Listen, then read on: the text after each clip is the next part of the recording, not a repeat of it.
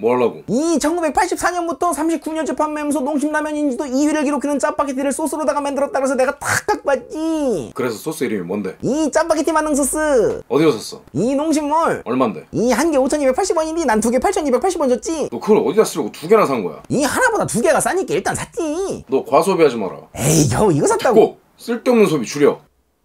알았어 제품 특징이 뭐야? 이 짜파게티 맛과 풍미를 담아서 다양한 요리에 쓸 수 있디야 짜파게티 소스랑 맛 똑같은 거야? 에이 그건 이제 먹어봐야지 어떻게 먹어? 이 별거 없지 라면 사리 끓여서 물 베리고 짜장 소스 뿌려서 비벼 먹고 야, 그럴 거면 그냥 짜파게티 끓이면 되잖아. 아직이야 있어봐 즉석밥 돌려서 간단하게 뿌려 먹으면 이게 짜장밥이랴 그 소스만 찍어 먹어봐. 에? 그래요? 맛은 어때? 어이 짜다 진짜 짜파게티 맛이 나? 이 겁내 짠 짜파게티 맛이 나 그 짜장라면 끓인 거 먹어봐. 그럴싸해요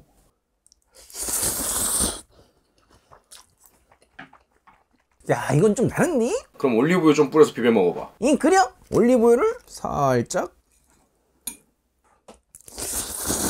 이 그려 올리브유 한 숟갈 정도 넣어서 비벼 먹으니까 별로예요 밥에 비빈 건 어때? 이 밥 싱거운디?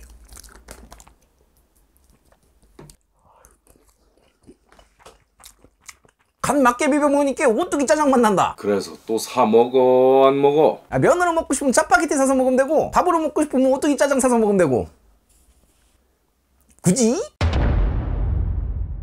이 325g짜리인데 78g 썼네? 그럼 하나 만드는데 대충 40g이니까는 요리 한 번 했는데 754원 정도 내네?